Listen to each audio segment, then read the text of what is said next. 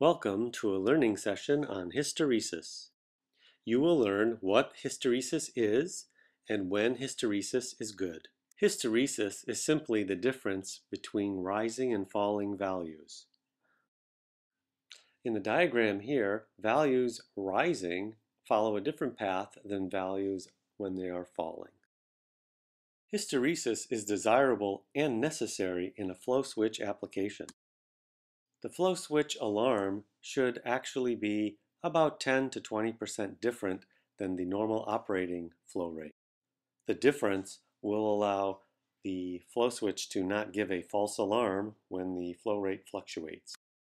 In this diagram, the flow OK alarm set yellow line is 5% above the flow not OK alarm trip point. Unit output hysteresis should be quantified so that the measurement uncertainty can be calculated. You have learned that hysteresis are the values that are different on rising and falling paths. Hysteresis is desirable and necessary in a flow switch application, and unit output hysteresis should be quantified to calculate measurement uncertainty. Another learning experience from the flow measurement experts at Proteus Industries.